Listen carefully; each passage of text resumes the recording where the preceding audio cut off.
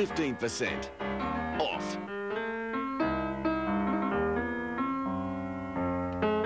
We're taking 15% off marked prices at Best and Less, but only tomorrow.